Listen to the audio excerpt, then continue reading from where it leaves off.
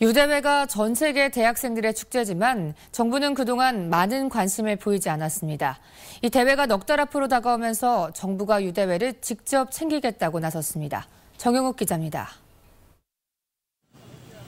유대의 개막 D-120일. 개막이 넉 달 앞으로 다가오면서 김종 문화체육관광부 2차관이 직접 첫 현장 점검에 나섰습니다. 다목적 체육관과 수영장 등 경기시설 준비는 좋지만 시설 외적인 면은 아직 부족하다고 평가했습니다. 뭐 아직 이제까지는 경기 운영 같은 경우에는 준비가 어느 정도 돼 있다고 볼 수 있는데 관광이나 숙박 문제가 조금 미진하지 않나. 김 차관은 대회 분위기 조성과 입장권 판매를 위해 정부와 각 지자체가 협력해 유대에 알리기에 앞장서겠다고 밝혔습니다. 특히 정부 관계자로는 처음으로 대회 흥행 카드인 북한 팀 참가를 공식 언급하면서 북한 선수단 참가를 적극 지원하겠다고 약속했습니다.